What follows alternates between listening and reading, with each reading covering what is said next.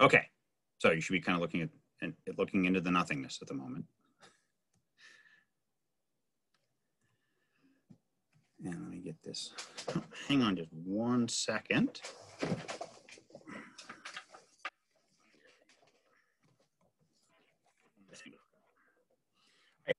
Um, as Robert said, kind of today is that get the pieces, parts, in, in, in gaming. Okay, um, and so remember that everything I make up today, uh, I'm making up on my own. I don't necessarily represent the official position of the War College, government, Navy, etc. Um, and again, we're going to combo platter this. So we'll be talking a bit about uh, the, the, elemental part, the pieces parts, the pucks, okay, hence the, the, the name of this uh, presentation, and the scenarios they live in. Now, again, very overview level. I'm not going to be, uh, you're not going to walk away with this, uh, with this in-depth knowledge of how to break down maps into hex grids and whether or not you should make aircraft carriers a seven on a, on a token and the destroyers should be a five, okay? I'm going to give you more of the, the theoretical approach to how we think about these problems because not everybody's problem boils down to orders of battle on a map, right?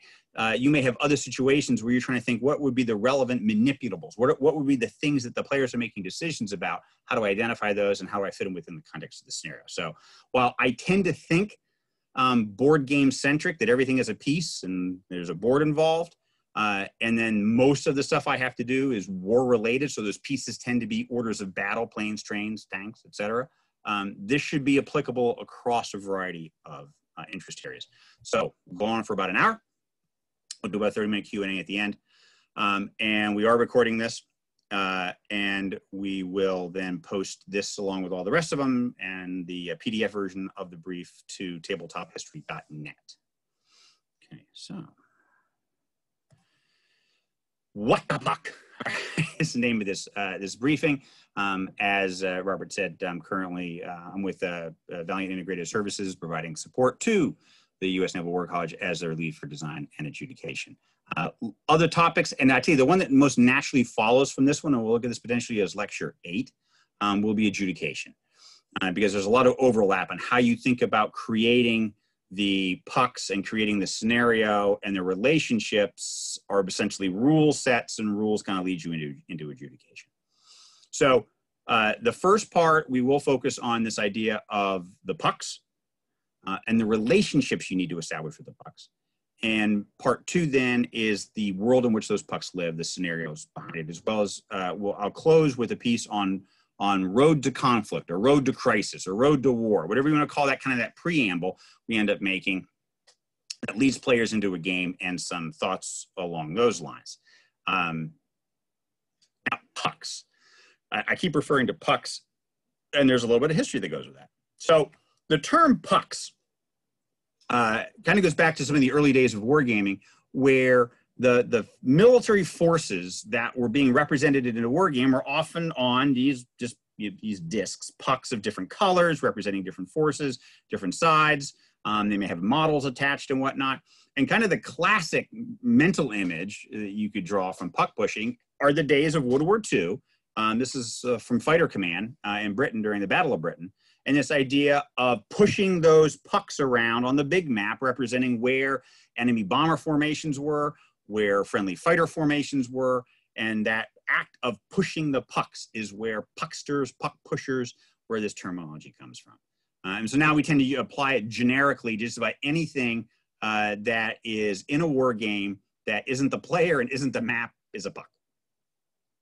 So we're going to talk about um, is this idea about how do we think, how do we generate pucks, how do we think about pucks, um, and what are the attributes that we need to represent with a puck because not everything that you could represent is necessarily of value to gameplay.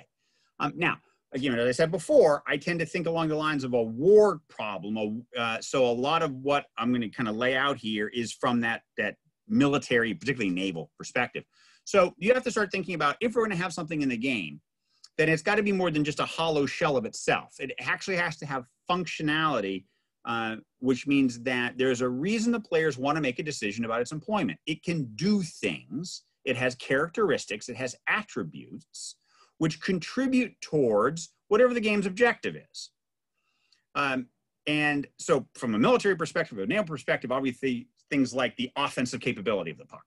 Um, does it have a defensive nature, armor, something that offsets the offensive capability of the opposing pucks?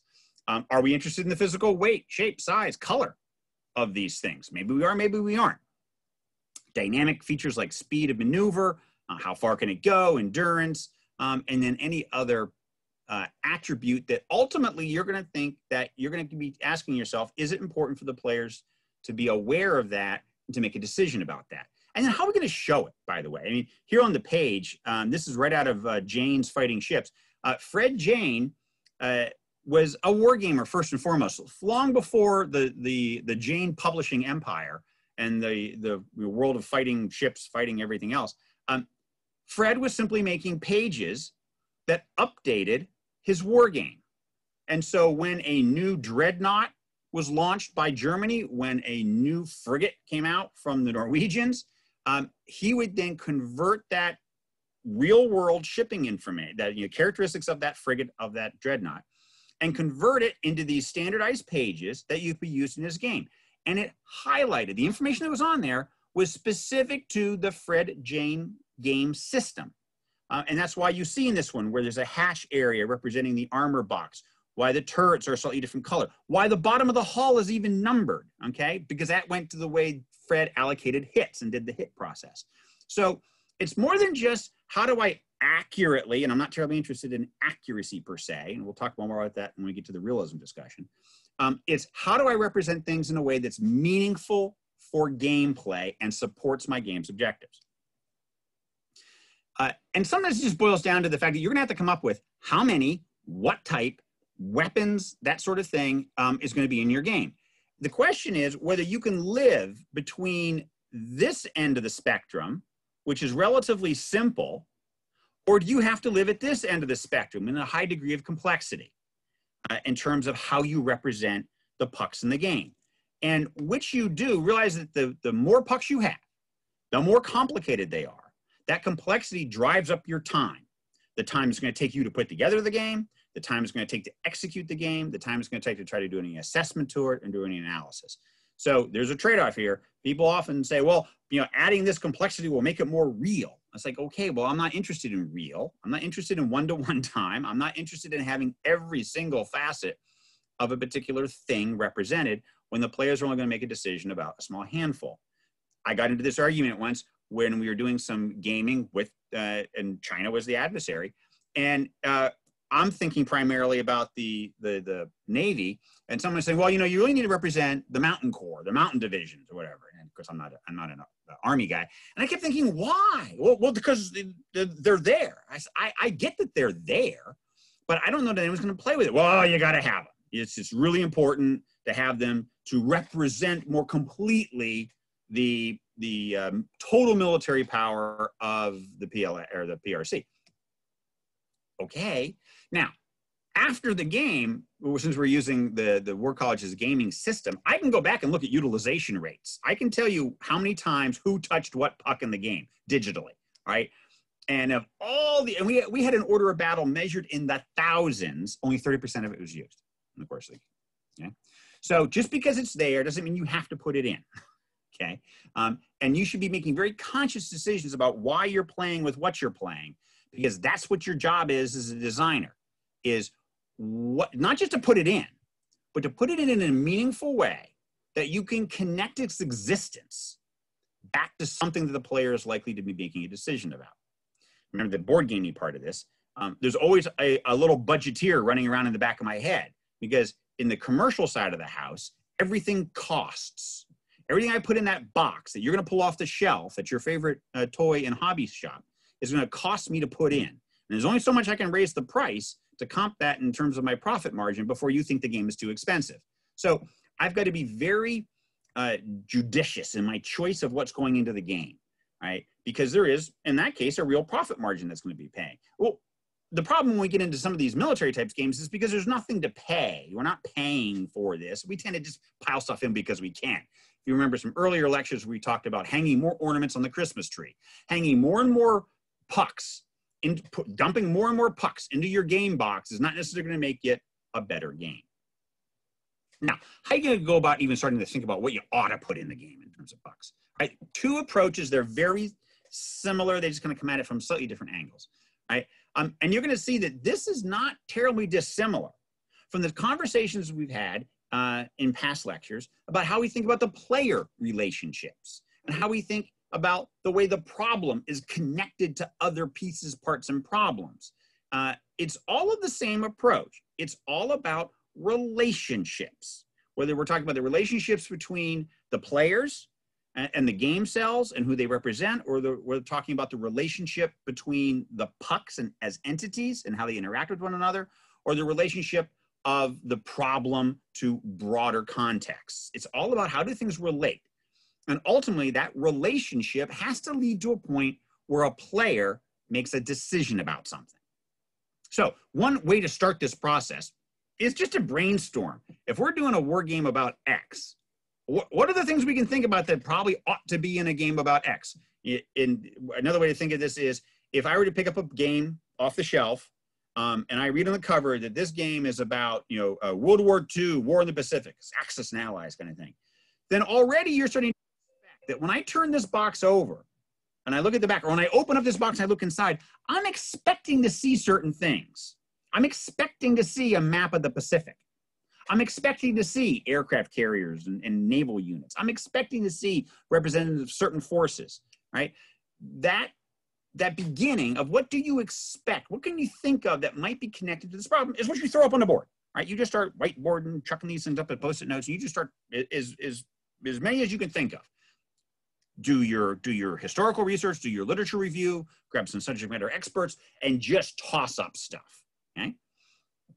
Then you're gonna kind of look at what you got.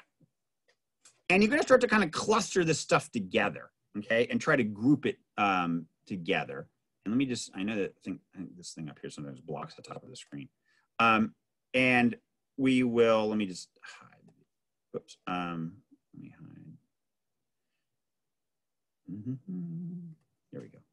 Uh, the, you, are trying to clump stuff together now. You're seeing what you come up with that, that had, it was in common, okay?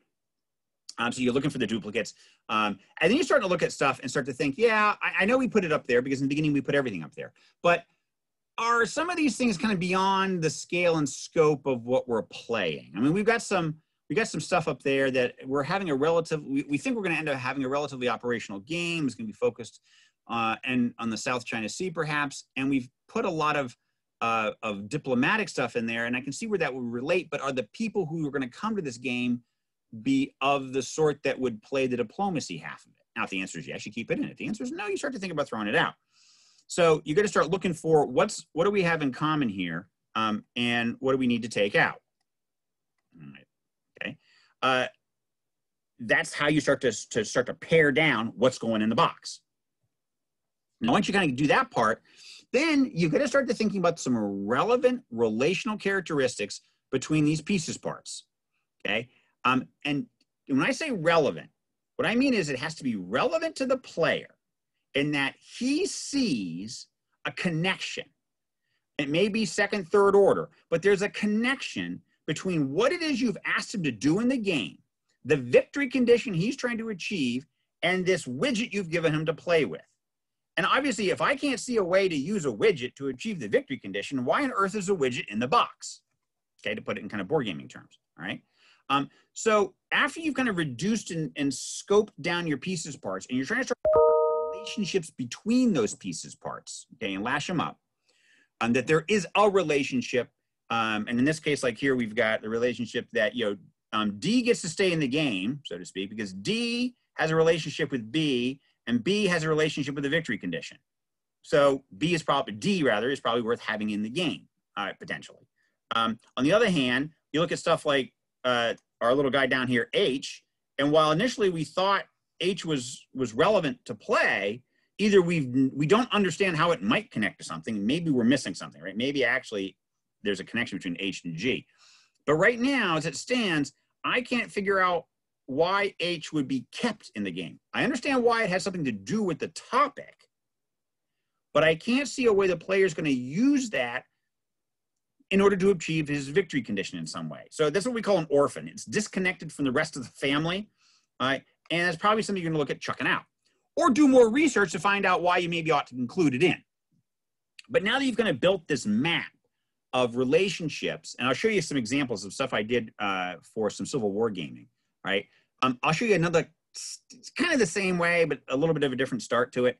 Um, rather than just kind of splattering the whiteboard with ideas, um, you're first going to start with your core idea, and you already know that, look, there's, there's probably about three big things that go with this. And for example, I'm having some discussions with some other game designers about Napoleonic warfare games. Okay, if you're going to have a war a, a war game about uh, warfare in the Napoleonic age, okay, then you're already talking about three key things you better have in the game: infantry, cavalry, artillery.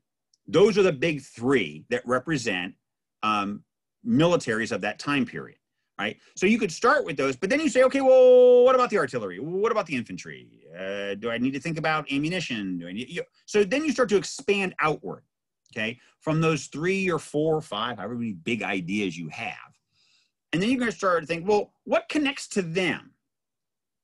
And not just what connects to them, but you ought to be all thinking, and why is it important to have that connected to that? Okay. And if you get into an artillery discussion, and you decide that for your game, the logistics behind this are important. Right? And artillery does not fire forever. Okay? Uh, and so there is an ammunition problem, but maybe I'm not quite as interested in the ammunition problem with the infantry. Or someone says, oh, no, actually, it's more of a problem. Okay? Keeping the infantry supplied with cartridges is a bigger problem than the artillery with, with cannon and gunpowder. Maybe it is, but that's what why you're doing this, why you're trying to map out and try to figure out what do I need to have in the game? What needs to be its, its connections and, and relevancy to other pieces parts? Okay, and you keep doing this. Now, I don't recommend going much out to about the third tier here. Okay, so we did big three, what's connected to that, what's connected to that, the sub sub elements. You go much further out, and again, you're going to run into the problem of everything is connected to everything, and your complexity is going up. Remember back to my early slides. If complexity is going up, the numbers are going up. Um, your time to design this and the, and the, ability to play this is getting more uh, lengthy and difficult. So again, you're going to do the same thing you did before. Um, we're looking for the places where there's some sort of overlapping connection between pieces. Um, can we reduce some of these as standalone items? Maybe we need to reshuffle our little diagram a little bit to tighten it up. Having done it either this way or the previous way, you end up with some sort of, of relationship map. Right? And then you can go and kind of sit back and maybe put it into a matrix grid. I do this occasionally, um, especially if I have a lot of parts and I'm looking to trim. Uh, the very beginning of this one, so that whole, we came up with the big three, right? So the big three live up here, and they always live up in this corner and represent your key game focus. Everything else was something you added on. Now we're trying to see how many pieces have a relationship or how many parts have a relationship to another part. Because the more connected a piece is, the richer, the more important it seems to be, the gameplay. So then we're looking for folks like uh, down here, L. Little L here only connects to J. It's the only thing he connects to. Uh, so I'm looking for the columns with a onesie in it, or the row with onesies in them, okay? Um, and obviously it mirror images. Uh, and then I start to ask myself, so L becomes one of the first candidates for being chucked over the side. Uh, as I think about paring this down and trying to keep this tight and focused for my players. Now, someone in your design group may say, yeah, but yeah, I know L is out there by its lonesome, but without L, there's no way J happens, and J is important. Okay, but at least these ought to be conscious decisions that you can rationalize and not just have the rationalization be, well, because it's there in real life. I get it. A lot of things are there in real life, okay? But we're not necessarily representing them in real life. Or I should say, from real life gets represented in the game. There's a lot of things in real life that we leave out when it comes to focusing our attention on a very specific problem set, okay? So again, th these are just kind of, of ways to get your, to give you a mechanical process to start thinking about how you, how you bucket this stuff and how you come up with it and why you keep some stuff and why you throw some stuff over the side. And this is probably right here. The biggest thing in terms of throwing stuff over the side. You should be able to make the case for why what you're keeping in the game is either going to be something that contributes directly to a player decision, directly to player decision. It's part of the broader order of battle which have relationships to things which are part of the player decision. Or it helps enrich the scenario, and be careful with scenario enrichment, all right? Enrichment, right? Because these are things that you start adding as decoration to the game. Now, some decoration uh, can be good, but be careful when you start to pile on the features simply because you're trying to make it look cool. Uh, and you're adding complexity with no real value added back to the player decision space and the objective he's trying to achieve. Uh, simple uh, idea here is you look at things, you look at games that have maps, and the maps represent some sort of battle space, especially uh, terrain, the dirt side. And I've got a forest. And there's any number of ways I can represent a forest. But I tell you what I'm not going to do is spend a whole lot of time trying to decide, well, is it a forest primarily composed of elk or of oak trees, of elms? Um, is it deciduous? Is it, why are you going into this? Right? People say, well, well it's kind of fun. Uh, maybe it is, but you're you're you're devoting energy into something which is relevant irrelevant to the player. What's more important is are my troops allowed to move into that area on the map that you've got hash marks that says woods? or maybe you got a couple of tree tree icons.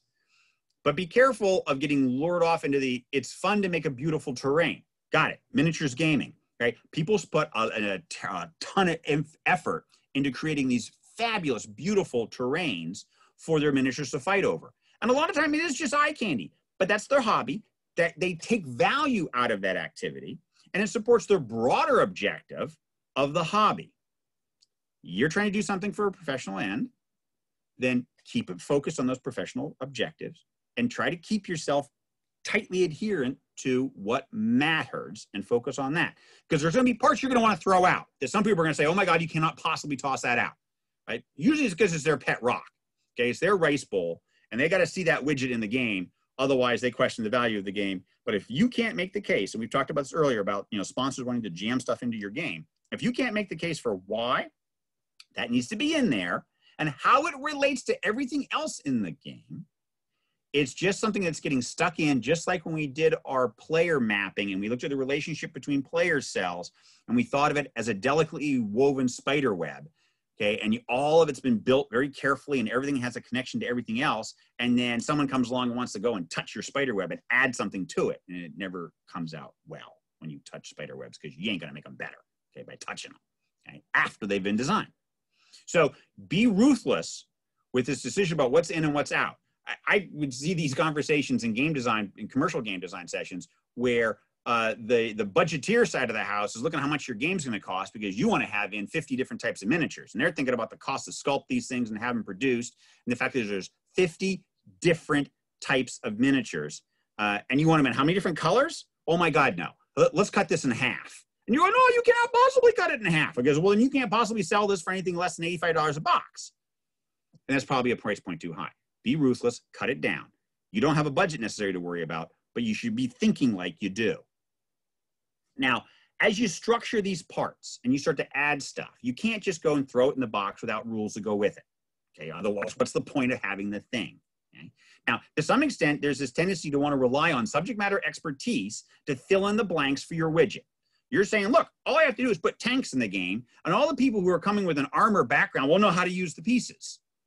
Maybe, and that might work. But the biggest problem I have with this type of approach is when the folks who are going to be part of your adjudication, remember I said a lot of this overlaps with adjudication discussions, um, the people who are going to be trying to, quote, adjudicate what happens when that tank goes rumbling along and engages some other uh, group of tanks or infantry, uh, and the guys who are upstairs who are playing the tank if you're not exactly on the same sheet of music, if you don't both have an, a, an identical implicit understanding for how that thing on the board called the tank works, then you're using two different rules sets that are, aren't shared by the players. Okay, how does that sound like it's going to be a good game? Okay, it's sort of like playing chess, and one player thinks the rooks go horizontal, and the other player thinks they go diagonally. Right? One of you is wrong. okay, you've got to use the same rule set. Otherwise, you're going to have a very difficult time trying to adjudicate it. So when we think about these kind of how do we come up with rule sets? How do we think about the attributes these pucks ought to have? Um, I tend to fall back on operational functions because it's a war game. Because I tend to be dealing with orders of battle, and the two most fundamental features of games, whether we're talking about professional war games or commercial war games, is the idea of movement and fires. Move and shoot are like the two most fundamental rules that you need to somehow accommodate for. We'll look at very specific examples uh, when we do the adjudication lecture on how commercial games implement different parts of this triangle, uh, and they don't all have all the parts. Uh, So fundamentally, the bottom tends to be movement and fires, right? Now, there's got to be a relationship. And I said relationships matter. So there's some relationship between movement and fires. And, and typically, the, the most fundamental relationship with these two is range in terms of how far can I move, how far can I shoot. And then there's often an interplay between them in terms of about how the fires affects movement. Okay, so if the fires hit a thing, does the thing now move less uh, because it's been hit? Does it move slower? Early naval gaming used this uh, linear in a very linear fashion. It would come up with a rule that said, look, um, based on some crazy algorithm, uh, and every war game had its own algorithm, um, we've decided that a, a dreadnought uh, has a strength of 25. And when she's taken about 12 hits, she'll go half as far and have half her firepower. It was just, just a linear proportional rule that the proportion of strength you had left was the proportion of firepower you had left was the proportion of movement you had left. Now, if you've if you've looked at naval ships and whatnot and thought about how they fight, it doesn't typically go in that kind of fashion. But that that that was the way they defined the relationship then. Now, when you want to go past movement and fire, you go, yeah, but we need a little bit more, I think. Usually the next thing you reach for are logistics and uh, logistics can't just be a bolt on. Um, pretty much so. You got to think about it in the context of the other rules you've already established. So logistics is usually an easy one because there's a natural linkage you can make between logistics and movement. It tends to be fuel. Okay? Things only have so much gas. They'll need to be have that fuel replaced at some point. A logistics play in the game thinks about how do I replace that. Your game may not need it. You may be looking at a time frame of play where fuel isn't the limiting factor. Well, then don't go sticking in there if it's not going to be important. But if you're thinking that you're playing out over a, great many days, um, and there is going to be an issue about keeping that armor, ra rapidly moving armor column fueled or replenishing the munitions out on that aircraft carrier, that's the second part, ammunition, then yeah, you start to throw logistics as a attribute and start thinking about how do I link the that logistics attribute to the other rule sets so this is all a coherent whole. But again don't just put something on and think about how does this new thing affect the stuff i already have you've got to work backwards and say how did the stuff i already have affect the new thing i just added so is there a rule set that allows the adversary to use fires to disrupt my logistics chain or is my logistics chain totally off board and while i'm accounting for it um, the game axis and allies guadalcanal logistics all emanate uh, if you're on the Japanese side from Rabaul and if you're on the uh, US side from New Caledonia. Um, and there's no real way to screw with the other guy's logistics center. Okay, it's considered to be somewhat off board. It has its own little separate sideboard that you play off of. And from there, forces come onto the board. But it does represent a limiting factor in how many forces can come off of that little sideboard and at what rate to replace stuff lost in battle. Next thing people tend to want to add is intel of some flavor. Okay, so we got our fourth, our fourth operational function here. Um, and in some ways, this is an easy one because this is where we get into the heart of open and closed intelligence in games. Okay, so if you think that you want to add intel, part of the way you can make a relationship between intel and movement is uh, will there be movement that one guy can't see that because he doesn't have the, the sensors? It's a hidden movement game. You only get to see the order of battle that you have a sensor that allows you to see. And that's usually a, a quick tie-in then.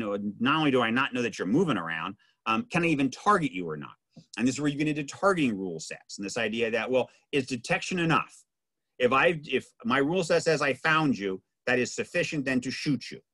Or you, or you may have a game that says, well, no, actually, I want to exercise the entire uh, kill chain, and we have to go through the whole find, fix, track, target, engage cycle. So one sensor finding something out there doesn't mean it was necessarily ID'd. And this is where some games will use the mechanism of block games where, you know, the block starts off face down that or, or in turned in such a way that only the owner knows what it is, but the other guy at least knows that there's something there.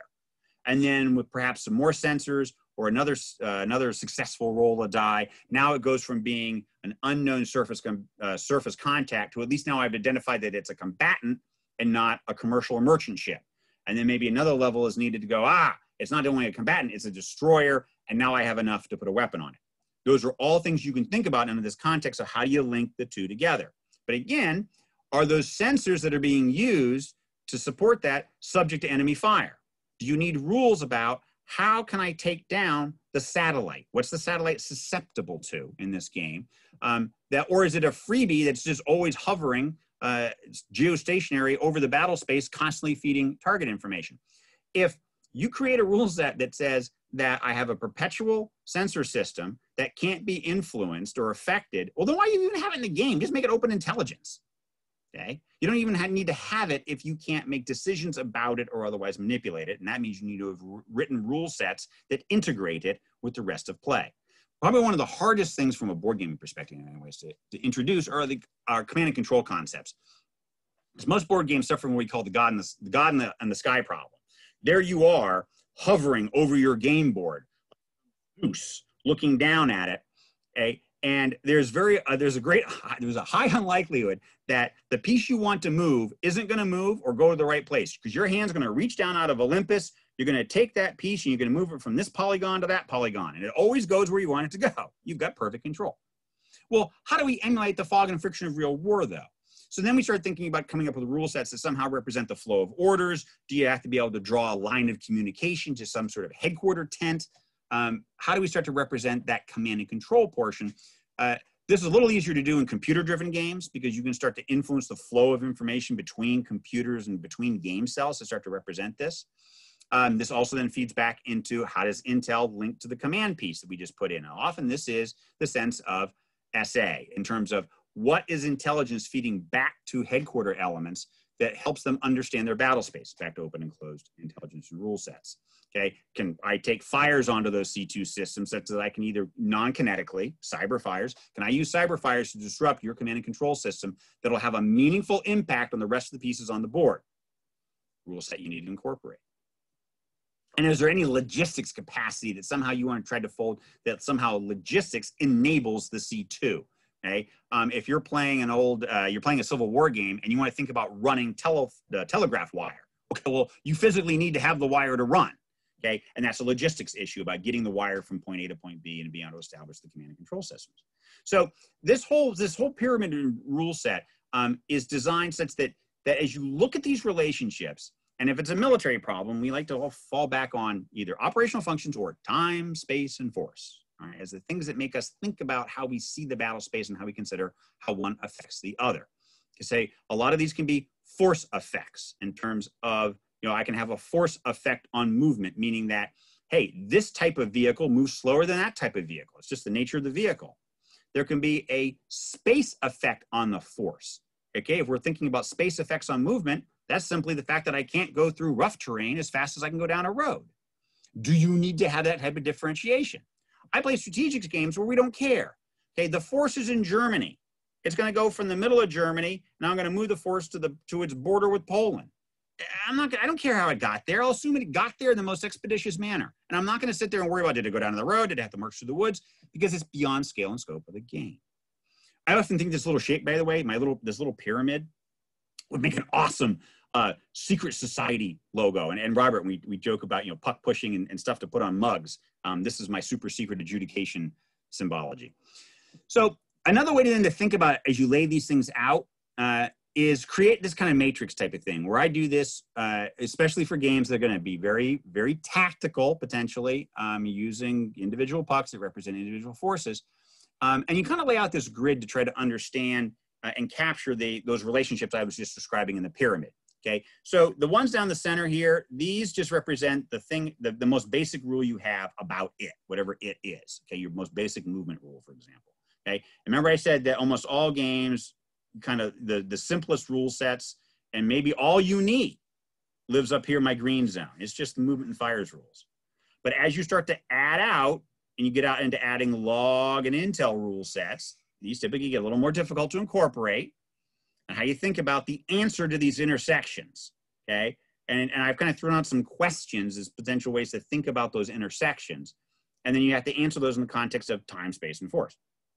And finally, like I said, C2 because it's sometimes some of the hardest to add to a game, um, particularly in board gaming environments. But uh, if you're doing something which is much more cell-based with closed intelligence, the players are physically separated, potentially distributed, then this is uh, easier to implement. But it, it should you should uh, still think hard about it.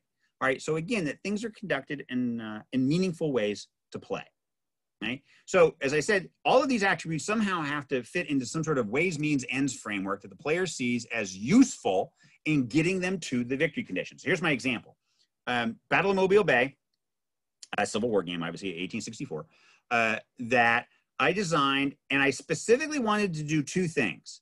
This game was designed for use in the classroom, and so we needed to be able to address the ironclads and, and Farragut and, and Mobile Bay and its and that significance. But also it was meant to be a naval engineering trade-off game, meaning the players actually got to make decisions about how many guns they're going to put on their ironclad, whether it was going to be turret or casemate designed, um, how much armor, boilers, uh, now, what prevents them just from piling on everything? Well, just I want as many guns as I can get, and as much armor as I can get, and as big of boilers so I can go as fast as I can go.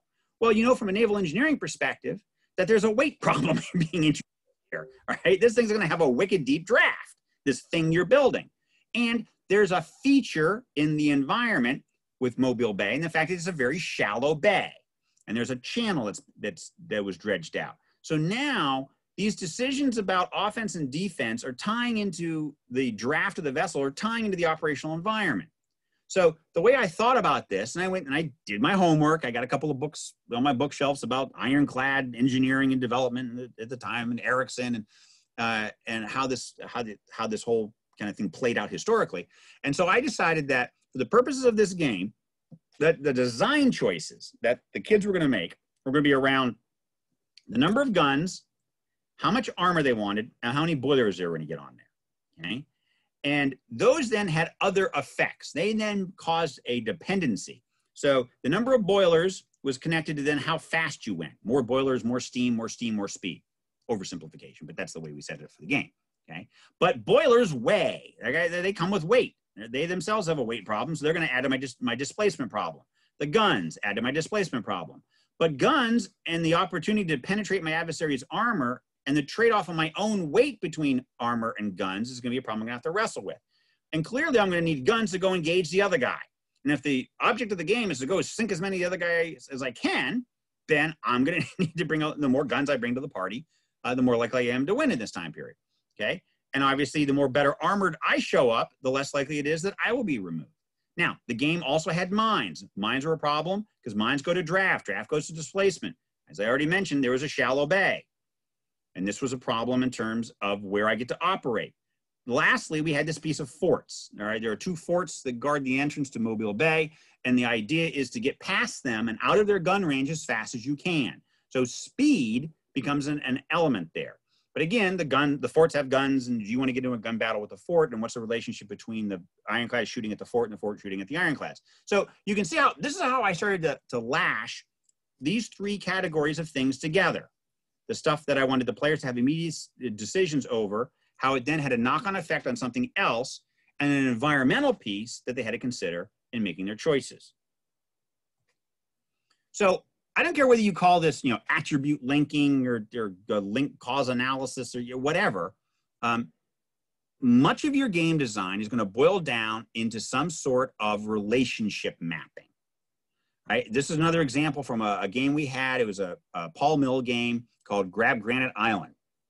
And uh, every it was a, a, faux geography. We had uh, these countries: Yellowtopia, Brownistan, People's Republic of Purple, uh, and the players had direct control over a handful of things. They had direct control over refineries, uh, farms, and steel mills in terms of resources, and then they had their money supply.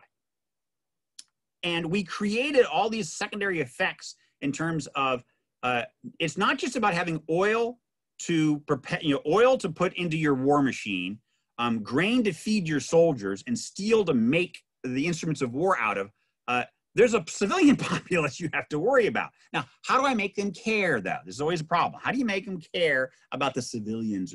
Well, we came up with rule sets, and we said that in this case, your oil supply, the oil not going into your military machine, is oil that's available for domestic consumption and the le- more in the military machine means the less available for the public, which means gas prices go up.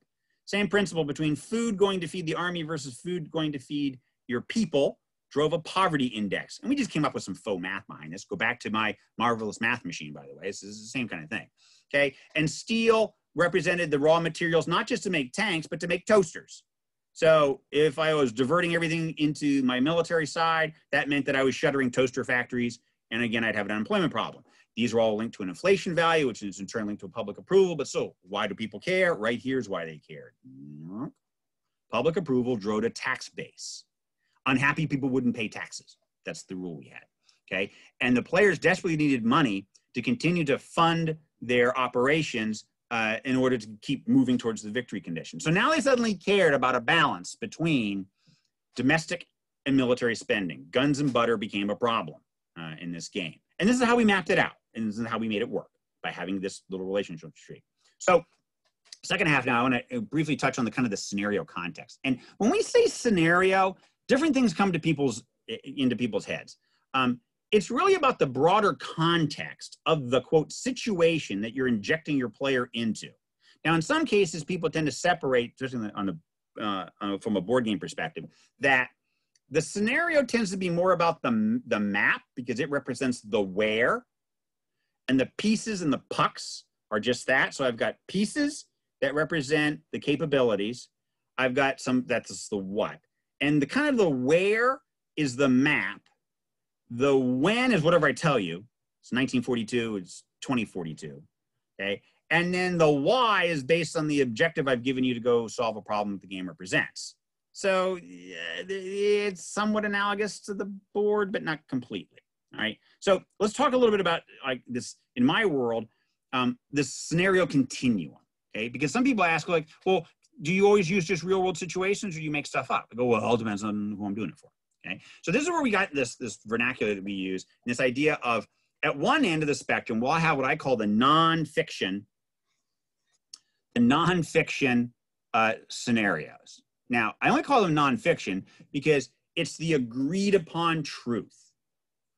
It's defense planning scenarios or the national planning scenarios tend to be situate, you know, these are scenarios that for the purposes of trying to do an apples to apples comparison as different uh, people use different scenarios as they relate to uh, North Korea, Iran, uh, China, right? That we've got this agreed set of parameters that represent China in 2030 or represent Iran in 2030 uh, if Iran has uh, lots of oil sales, lots of revenue, um, and they are on a more uh, belligerent path what do they look like versus uh, they have less cash on hand? What do they look like? Those are all rheostats inside of the defense planning scenarios. But everyone kind of agrees that yes for the purposes of defense planning defense acquisition this is the way we've collectively agreed to see country x. But then as you start to slide down my scale okay then we get into what i call the historical fiction zone and that's where i'm probably still using real geography but i'm not adhering necessarily to the to the uh, the factors or conditions that are in the DPSs. Right? Maybe I want to have it better or worse. Maybe I've created my own fiction about how, uh, for the purposes of gameplay, I want a better relationship than the DPS is painting for Iran with her or her neighbors or whatever. Okay, but this is where we just start taking real geography and coming up with fictitious. Sometimes we rotate the planet. You know, it's like okay, we're going to use the geography of the Balkans, but we're going to turn it 90 degrees and make it uh, everything else is going to be the same, but for some reason we just want to help people to kind of break up their thinking, um, and we're going to orient it uh, east-west instead of north-south. Uh, but you're using real geography, fictitious settings. As you keep sliding down this this scale, okay, and oh by the way, uh, an example, a good example are CONOP scenarios, okay, where often as we want to look at uh, a potentially useful uh, some sort of concept of operations, um, we may need to create different scenarios, multiple scenarios around a given country or multiple scenarios across the globe to see the efficacy of this CONOP in a global problem or in multiple different types of theaters. Um, and then you can start getting that sliding down to the fantasy zone. Now, right out here, notice I got one here called the JMO capstone scenario. This is at the War College, the Joint Maritime Ops uh, curriculum.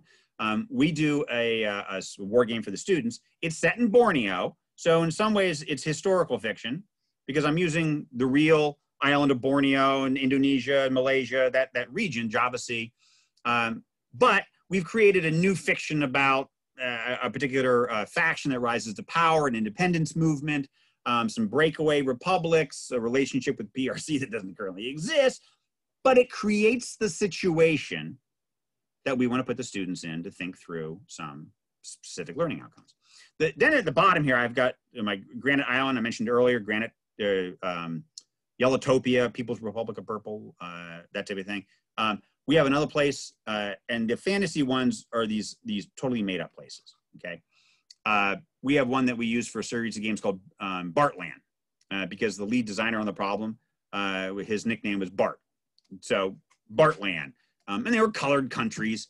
Uh, we had uh, one uh, that we called the beach ball, and it was simply the world looked like a multicolored beach ball uh, where we just had created uh, multiple zones across it like a colored beach ball, um, just to kind of represent notional uh, unified command plan AORs. But we want to, didn't want to get into, well, is it EUCOM or is it PACOM? It's like, no, it's the purple stripe, the orange stripe, the green stripe, and the yellow stripe.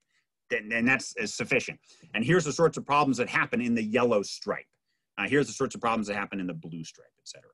Now, um, so what, what's the difference? Which one should you use? Well, it depends on your depends on your objective and it depends on your audience, right? I had this conversation with uh, N35 at the, at the Pentagon years ago, and we said, hey, what do you think about this? And my answer from 3.5 was, if you can help me better understand future force uh, structure, and you tell me that the best way to get at that problem is to have us fight the Martians, then we'll fight the Martians if it yields insight into future force structure. Then he pauses. But you can't get N81 to fund anything to do with fighting the Martians. They only want to respond to defense planning scenarios. They want to respond to things which are far more concrete and tied to national security objectives based on future threat environments. Um, and the likelihood that we're fighting the Martians is pretty slim because I get it. I see how fighting the Martians potentially could force us to think about the fleet in a different way. And I'm, I'm happy to do that, but you need to understand the difference of uh, gaming for N35 and gaming for N81 or N8. Okay. So again, it depends uh, what you need to get out of it. And this leads us then to this idea what's called a front end scenario versus a back end scenario. So front end scenarios like my locomotive are pulling the rest of the game. It means that the the the place you need to be the situation you need to be is a given. It's if we are in this situation then if that's what i want to understand how do you design or create a game that gets me to pick at that? So most games where we want to fight a specific adversary in his neighborhood or in some part of the globe tend to be front end problems because that's a given okay we're gonna if we're gonna talk about war with PRC, we tend to talk about it in the context of that's the country we're gonna fight, the PRC, not Red, not Redistan. It's gonna be the PRC, and we're gonna do it in the Western Pacific, unless we think we're doing it at a period when the PRC and the, the PLAN has a greater uh, overseas naval presence, and we actually want to look at what this problem looks like in the Indian Ocean if it's an away game for them and an away game for us. Okay, but you're giving all that up front in terms of this is what I'm trying to understand as the sponsor. You're giving that at the front. Now, that's different than what we call the back end scenarios. Back end scenarios are typically more appropriate for when you've got ideas that you want to flesh out. Air sea battle, back in the day, all right, was one of those things where, or sea control, in the specific example I'll show you here in a second, where these were situations where we didn't necessarily have a particular place in mind we had an idea, a way of fighting in mind, and wanted to better understand that way of fighting. So in that case, then the designer says, well, if that's the sort of thing you need to understand, if these are the sorts of things that that uh, type of concept is meant to address, then let's create a world where these are the problems and see how it how it works. In that case, your scenario is an outcome, just like your decisions about what pucks to put in, the decisions about what players to bring to the game, and the decisions about who to have play is all back end. I tend to make, you know, I tend to, to create categories for things that you're either this or that. Understanding that these are using some sort of sliding scale and there's usually often a lot of overlap. Okay, so just from over the years at the college, you can see that some of our games have fallen into kind of this front end stuff, especially like alternative future games, where you're saying if this if this is the future, this is a world where in a world where right we've got resource rivalry and and uh, water scarcity and high militancy, then what do we do? Well, those are all givens in the front end of the problem, okay? As opposed to, um, I've got an idea about how to fight, again, just like sea control problems, then maybe I want to explore those agnostic to a specific place to better understand how the idea might work in multiple places. So I create this faux world that has all sorts of different pieces, parts of attributes to it that'll get me to pick at uh, the, the core principles of the idea I'm trying to investigate. So it tends to be a backend problem. Granite Island. Anytime we use these pretend worlds, usually the pretend worlds are the output of a design decision that I need a world where. And that's why I get I plug it in. So examples, front end scenarios, as I mentioned, um, you know, all the war planning in the inter-war period tended to be kind of very front-endy, okay, in terms of if we go to war with Japan, if we go to war with Germany, if we go to war with Great Britain, um, if we go to war with anybody, and this is the kit they bring to the fight, and this is where we are, then what? Okay, um, Royal Dutch Shell uh, famously did a lot of, of the scenario based. You use your scenario based planning. We talk about that ideas. You're saying if this is the scenario, then what? Okay, so if in the future oil prices drop significantly instead of continuing to rise as they had historically, then how to sound is our uh, our plan. But those are all front end scenario type things. Back end scenarios, um, and examples in the global wargaming we did in 2009 and 2011, it tend to be very sea control focused.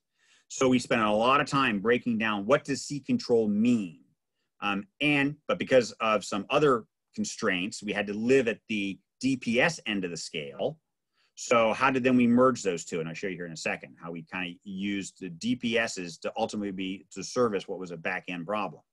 Um, and again, as I said, you can always go fictitious, right, and create your own worlds. And that's what we did for uh, our Granite Island elective gaming, uh, for Pol-Mil Gaming. What we did for some work we did again around Air Sea Battle in 2013 and 2014. Completely, completely made up worlds. Okay. Um, now I, I want to go back to this thing about Global Nine though, and the sea control piece. So just like I showed you earlier in terms of breaking stuff down. What does that mean? What's related and connected to it? sea control. We went there and said, okay, th- that's nice to say. What does it mean? So we went to our literature review. We went to our direct publications. We dug through naval literature and we looked at the understanding of sea control. And we found that there were these seven key attributes that were discussed in doctrine and this ideas about scale of sea control, the duration of sea control, force factor, et cetera. You can see them here. And even those had sub factors. And we got into the whole, well, we can't make a world where we're going to look at sea control for everything. I can't, it's very difficult to play a game where I'm looking at strategic sea control and tactical sea control, for example. So we picked operational sea control, which went, uh, went down the middle. Right? And we did that for all of these. We looked at what the sponsor wanted to try to understand we looked at the concept, we looked at the idea of sea control, and the check marks are the ones we said, these are the ones I think we need to go after to create a a sea control problem that will be relevant for the concept under investigation. So now that I have those picked out, I had to say, okay, and they want to use a DPS. Well, which one? Which of the defense planning scenarios has most of those attributes or, or, or all those attributes equally important? or are some more important than others? How do we do that? So we looked at the, at the time the 10 defense planning scenarios and all told them between them and what everything they wanted to look at between sea basing and sea control and joint combat operations. There was 57 different things that were in play across 10 defense planning scenarios. So the very first thing is did was we all sat there and started reading them with a checklist in hand. And pretty rapidly, six fell away as just being, I didn't care how we racked and stacked them. The six weren't going to play. So that left us with four defense planning scenarios going forward. Then, but again, 57 doctrinal attributes or aspects, that's too many. So at the uh, concept development conference, we brought this up and we got those 57 shrunk down to 37.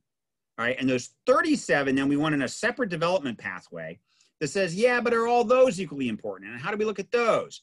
And we looked at those and we got those down to 25 uh, in one round and down to nine. And I guess, okay, now nine's, nine's a workable number. We're down to nine by the time we get down to round two. And then we used a process called analytic hierarchy process, which uh, remember I said, are all attributes the same? Are they all equally weighted? Well, the answer is no. It turns out that some are, some aren't. So we went through that process, and now we had a solid set of nine criteria that had been uh, had been uh, weighted that I could then evaluate these four, and these four, when these four were put against 37, only two survived. So these last two DPSs were evaluated against the nine criteria that came out of this process. And in the end, one scenario clearly looked like it had what we needed. Why did we go through all this pain? And here's just one of the early score sheets where we went through and we were just stuck. I mean, it was pretty, pretty gross scoring. It was either that feature um, the, the A's across the top are to represent uh, the defensive planning scenarios, obviously keep this unclass. Down the left side are all the sorts of things we were looking for. And uh, if it got a zero, is if we didn't see significant play for that thing in that particular DPS to, yeah, one maybe to, oh no, two. Yeah, twos are good, right? Color coded it so we can rapidly see the winners and losers. And you can see things like G.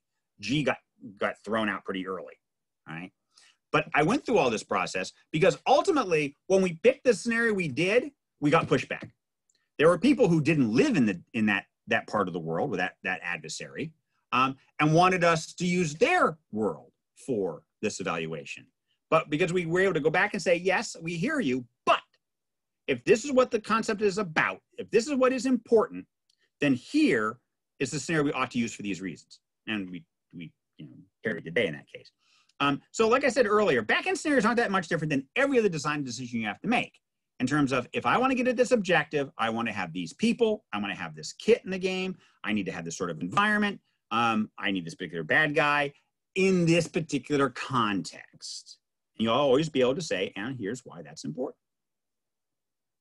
Now, but your sponsors often come at a scenario where they come at your problem with a scenario in mind. They start with the scenario. Most designers rather end with the scenario. After I put everything else together, then I'll build the context for it. Okay. And it, it makes it makes perfect sense if you think about how we go about our worlds and how we see the world. And this is very much true from a board game design perspective, right? So when you're a consumer of a board game, you're walking down the aisle at Walmart, you're looking for a game for your, your nephew's birthday gift, and you're looking at the shelf and you're pulling boxes down and you're starting your evaluation with what the game designer ended with a game in a box. So you're looking at that box and you're trying to look at it and decide if it's appropriate for his age, if it looks like the subject matter he'd be interested in, um, how many players does it have, how long does it play, oh, how much does it cost? You're doing all those evaluations uh, based on what you have in your hands, the end product of the design process. That is not how the designer started. The designer said, I want a group of players to have an experience. And the experience I want them to have is I want them to, to imagine they're a commander of this, they're in charge of that, they're, they're elves in the forest, they're trying to find their way to millionaire acres. I, there's an experience the designer wants you to have. And he creates a game and creates play and creates pieces and rules and environments and scenario that when you unpack it, you'll have that experience. Designers start with the experience, they start with the objective, and they end with the scenario. Consumers tend to start with the scenario, go through gameplay to arrive at the objective. They do work the other way around. And it, it's just, it, that's not right or wrong. It's just, that's just the nature of where we are. the two of us live in, our, in these worlds. So what you have to be able to explain to a, a sponsor is that they may come forward with a scenario as part of their problem, and it's not necessarily the best one. And you've got to be able to explain that and show them why. Now, the last thing here I want to touch on, or next to last thing, is this idea called the realism challenge, right? And it's a trap. Right? As soon as someone comes into you and says that, hey, we want to add some stuff to the scenario to make it more real, what are they really saying? Because adding more bits to your model, go back to my modeling lecture, right? We don't fix models by making them, in, by increasing the complexity of it, okay? So usually what's buried in that, those words, it would be more realistic, is that uh, a couple of things are in tension. And one of them is if you come from an M&S background, right? Oftentimes, and not throwing the M&S community into the bus, it's just not, it's not my world. I tend to be a bit more abstract than the M&S side.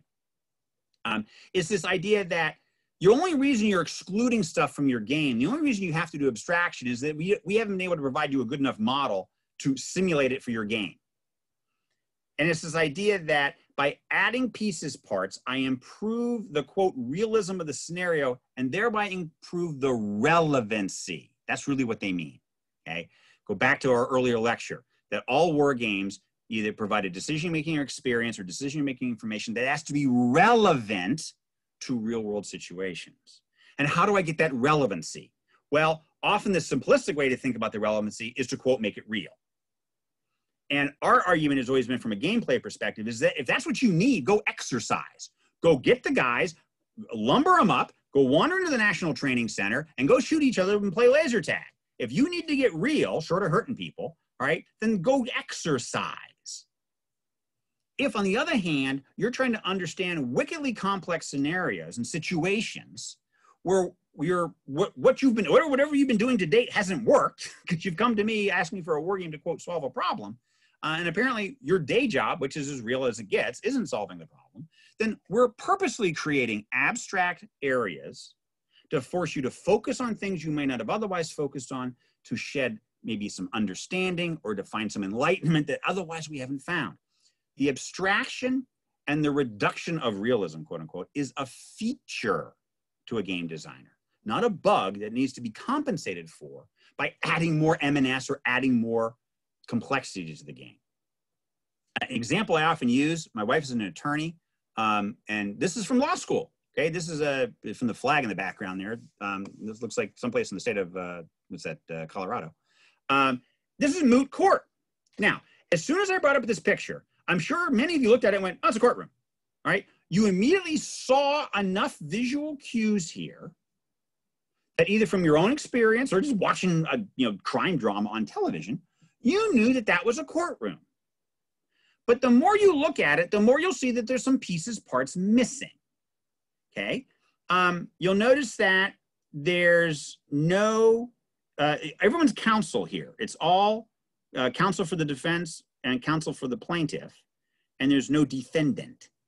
Yeah, because for moot court, what's the, port of, what's the point of moot court? For law students to get practice arguing in court. So having somebody sit there, think what a defendant does in a case, right? You've got to be there. You have a constitutional right to be there as part of the of your prosecution, right?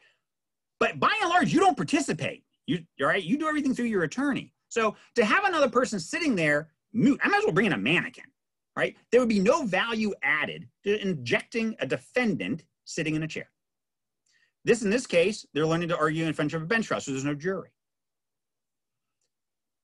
But also, what was missing is the bailiff. And the bailiff is a wonderful example of unnecessary detail, but, okay, so this would be more realistic if there was a bailiff in the room. And there isn't. There's no bailiffs in these things. Right? I know we're going to hire a security officer to be a bailiff for moot court. Why? Dumb. Now, but that's the same argument people will make. Will say, well, you know, a bailiff would make it more realistic. But that's not the objective. The objective isn't to create a holodeck. The objective is to create a learning environment for these law students. Now, if the objective was to expose the students to some of the security challenges and nightmares that have unfolded in courtrooms when defendants have grabbed a firearm from the bailiff, when someone has smuggled a weapon into the gallery, and you want to see what that how that plays out, then a bailiff is crucially important to understanding this scenario. But if I don't need them, I'm not going to put him in here. Moot court, your war game scenario, same situation. Pick the parts you need, leave everything else off. Now, with that, I want to say a little bit about road to crisis. This is this is the last piece here because road to crisis is a little bit of a pet peeve of mine. Okay. Road to crises or road to conflict or road to war or whatever it is you're trying to call it. All right. These are often way too long, in my opinion. Okay because they try to take the situation where if we're going to have a scenario where we are fighting uh, Iran in 2030, and it's currently 2020, I need to tell a story how over the last decade we got to armed conflict with Iran. D- do you? You do you need to tell me this story? Movies use road to conflicts all the time. Because especially science fiction movies. Let's think about it. In a science fiction movie, as as the as the member of the audience, you're being asked to join into this world and to watch a story unfold in some alien world. It's either alien because it's in the future or it's alien because it's on a distant planet. So, how do movie theaters or how do uh, production companies, how do directors, how do they do their road to crisis? See if you can figure out which movie this is from.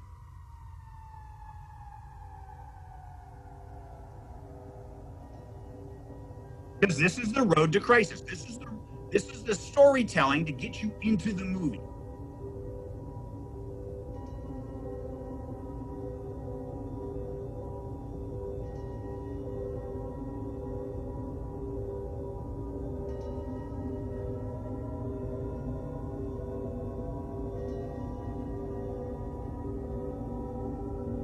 If you haven't guessed by now, you should guess.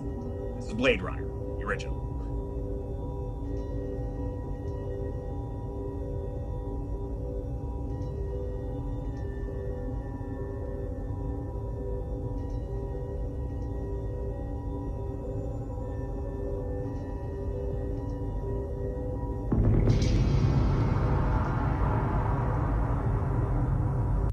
Okay, that gave you everything you need to know about the next two hours you're about to see on the screen. Okay, right there. That gave you everything. I understand when we are, I understand where we are, I understand the situation that the characters in this movie are in. Okay, there's other ones now that you start to think about it, right? Pretty famous one, okay?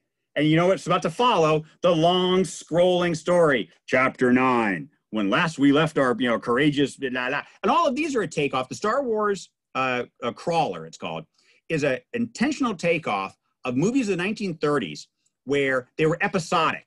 So these are the Buck Rogers, right? Where you had to catch the buck. From the last time we saw Buck, he was hanging off the side of a cliff. How did he get there? Okay. So we have to provide that context. Right. This is another one. Right. This one's from Terminator. We've got to explain how we ended up in this, this world where we've got machines in charge. All right. And that's it. Now, these are tight and quick. Why? Because movies are about money. So I'm why why these sorts of things are popular is that they're wicked cheap because it's just text. Okay. And I don't need to necessarily film a lot of other stuff, other bits to explain this situation. Okay. I don't, it, it's very easy to do at the end of production is to come up with this little thing that sets the stage for your players. And this is where you often hear people say, well, I need to do this road to crisis to get the players to push the I believe button. And my, my cynical view is if you have to go to extraordinary lengths to get your players to understand the scenario and to see value in playing, you've got the wrong players. Nobody has to go and twist my arm to get me to engage in a board game. I will engage and understand, but it's a relatively low bar to get me in, get to get me involved, right? Because I like play, I get it, I, and I'm willing to rapidly join what we call the, the magic circle, the golden circle of storytelling that games represent. So your challenge when you write these road to crises or you try to set up these background stories is that you want to provide the minimum relevant information that's going to allow the players to orient themselves to the game, be it oriented in time, in place, who they represent, and what they're trying to accomplish. Full stop. Okay? You don't need to take them. You pick up a World War II game, uh, or here, actually, this is my favorite one. This is from the interwar period. Okay, this is all that the student at the War College would get in, say, 1930 Okay. And it's just that relations between blue and red have deteriorated to the point that armed conflict is imminent and the red fleet has sailed. There. That's it. Because for the students, they didn't need to have a long backstory for why we were mad at red or black or silver or whatever color we were fighting today. It's, it didn't matter to those students trying to learn how to tactically place their fleets at naval advantage. So there was no point in telling them long stories about how, how diplomacy had collapsed. Okay. This is from a board game, Axis and Allies. Okay. It's a World War II game. And in this case, it's the Guadalcanal game that I like so much that I often use as examples. But it's August of 42. Japan's occupied the chain. All right. The goals of that occupation to protect their flank. All right. Offensive New Guinea. See here. The United States is to begin its counterattack with a surprise landing in Guadalcanal. That's it. Done. Okay. I'm not going to go back to the end of World War One. I'm not going to go back to the iron and steel embargo that the United States imposed. I'm not going to go back to the decay of uh, relationships between Japan and the United States. I'm not going to go back and highlight, oh, and in 41, they attacked Pearl Harbor because that's all useless information for a player of this particular game. Okay?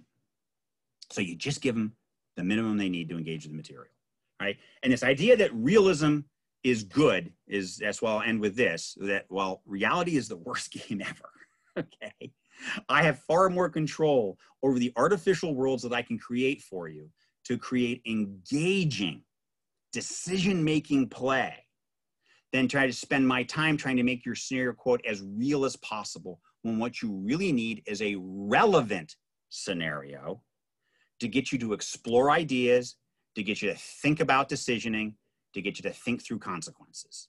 And that's what your pucks and your scenario have to do together.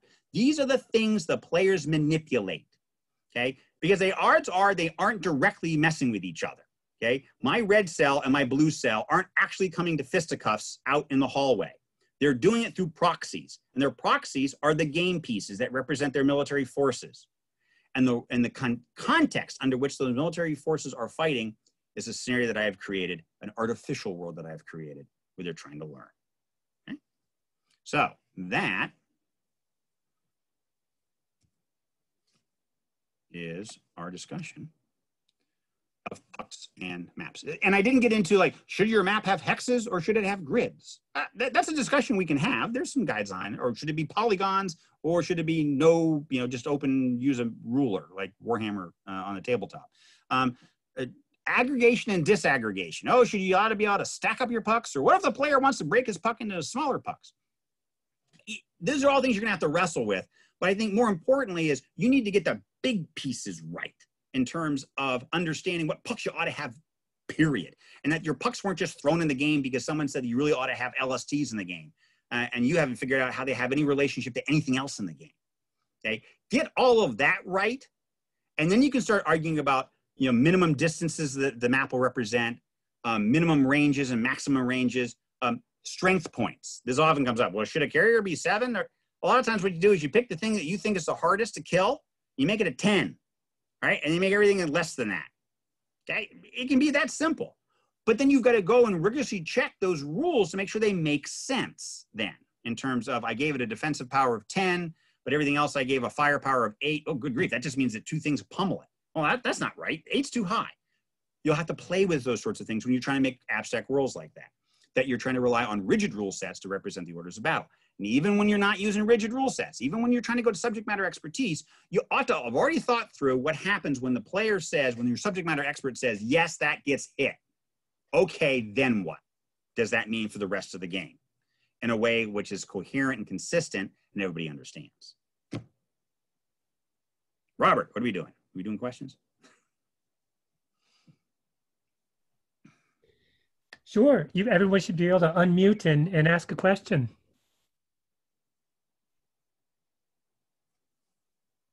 Stunned silence. Um, I've got a comment, not necessarily a question, since no one else is saying anything. Go Sorry, it. it's uh, um, Pete. It's uh, Major Scott Roach here from the Canadian Forces Warfare Centre. Uh, I run the wargaming section um, for the CAF here.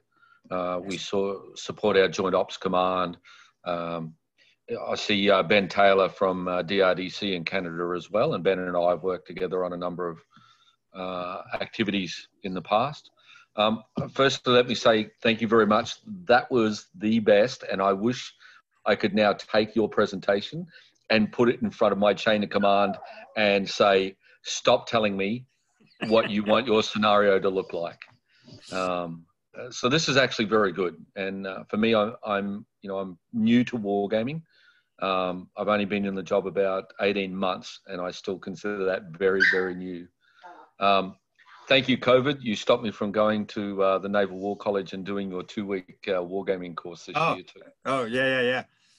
Uh, Yeah. Do you instruct on that, Pete? That's what that was what I wanted to talk about. Do you instruct on that course? I hope so.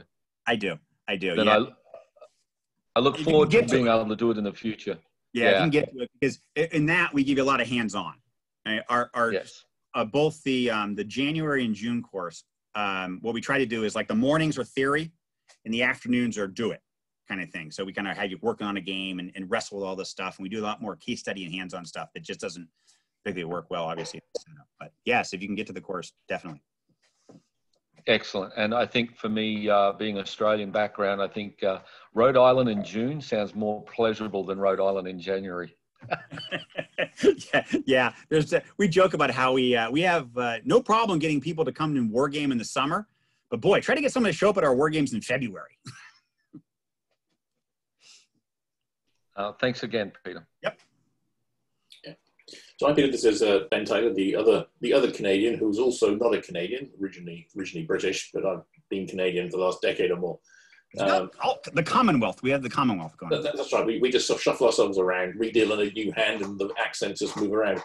Um, so um, again, as an observation uh, and an add-on rather than a, a question per se, um, like very much the way you had done that um, breakdown of the, of the uh, planning scenarios to select one you needed from the questions that you had.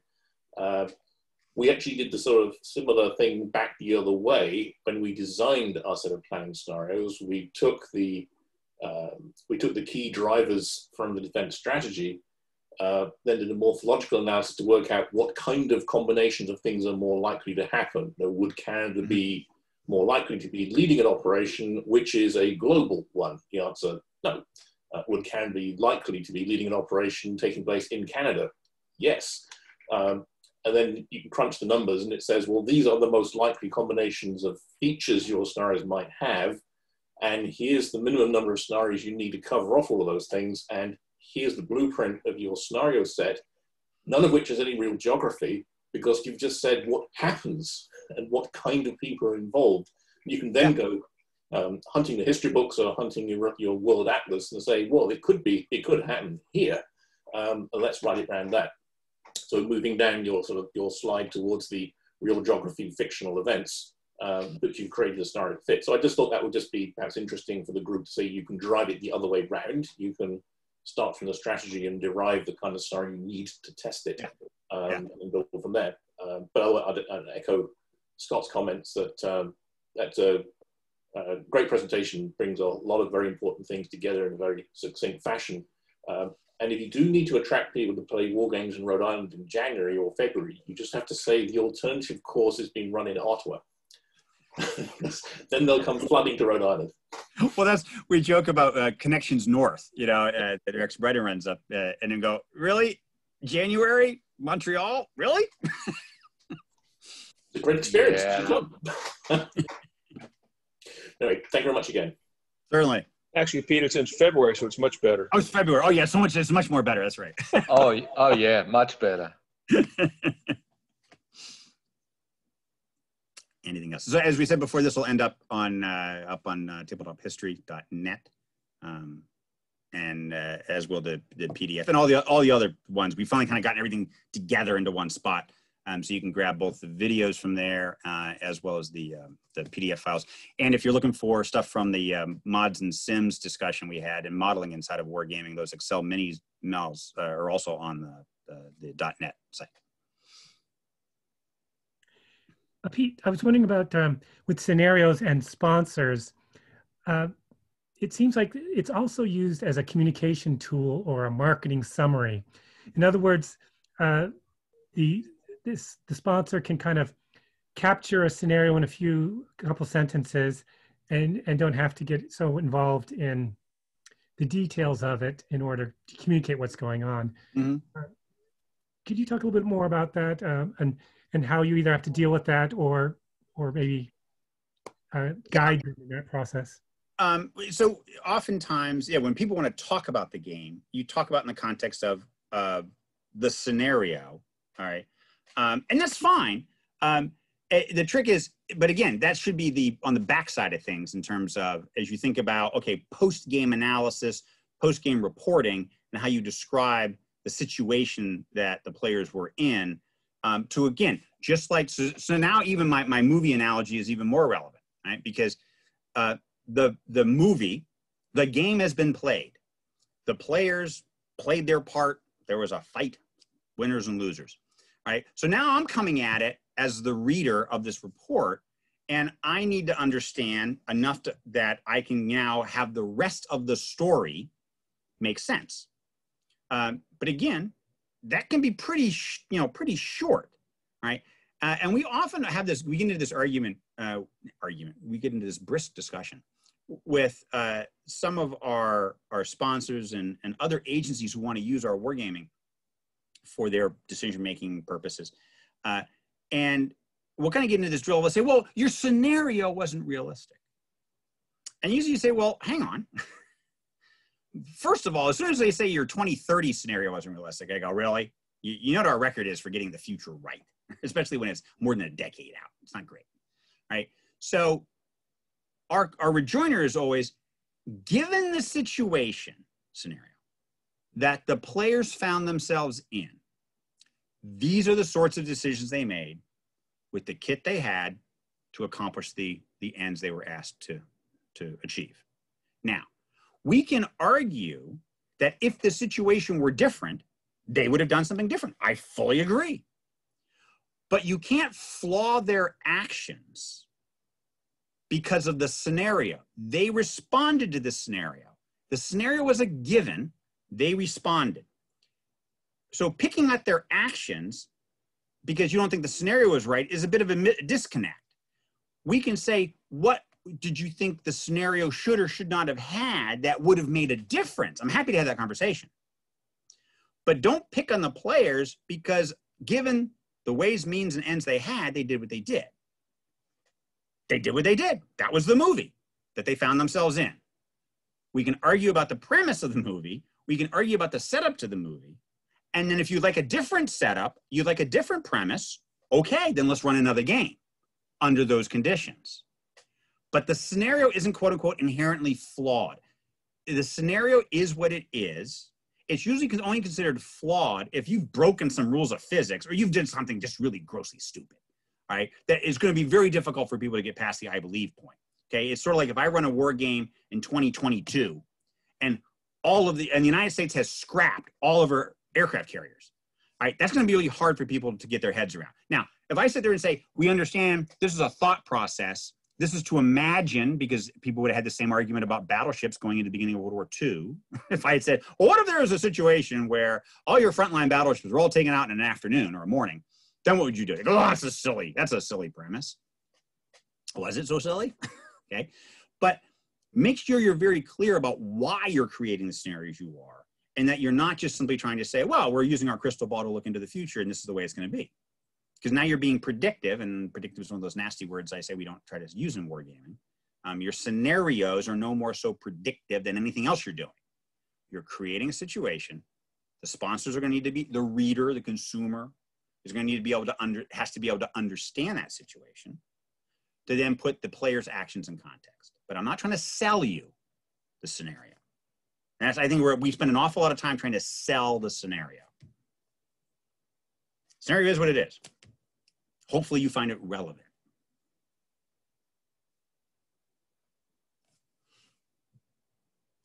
Anything? Oh, you know what we didn't do last time, Robert? Matter of fact, we, I forgot like two times in a row now. You know what it is? It's the game recommendation. So, okay, if there's no other questions, I'll wander off on my on this game recommendation because I have to have it in arm's reach. So let's do this. Let's go because the um, the virtual background messes with. I try to show a box. I don't think I, I don't think I've recommended this one before. Codenames? Anyone? Anyone? Bueller? Yeah, we've played it here at the Army War College, mostly for fun. Yeah, yeah, yeah. Uh, I love it. Great, great. Uh, uh, uh, you know, they're stuck in the weekend in the cabin type of game. Um, this is one of these games where uh, they call it a party game. Um, and it does work better, you know, with, with a, a group of people. Um, there is a, a two-player variant, but I, I, find it not nearly as satisfying as the at least four-player uh, variant. Um, but these are one of these games where it's so accessible. You know, once people see it played once, I, have got numerous friends who are are are casual gamers at best, and if they play this game, they buy it, uh, type of thing. So uh, it's a communications game, okay, in terms of you trying to communicate uh, uh, some, some uh, by, by word play. So this is a vocabulary building game if you've got kids, um, in order to try to communicate. And it puts it in this context of, of secret agents and, and that type of thing. The, the thematics are pretty thin, I'll admit, uh, for what is essentially a wordplay game. But it's great fun. I thoroughly enjoy it, um, and it's on my shelf, and it's one of my recommended games is Codenames. Okay, so that, that killed three minutes of our time here. Um, we're almost at the bottom of the hour. Any last, any last words? Okay, Robert, I think we're a wrap. Well, great. Uh, again, thank you very much. And again,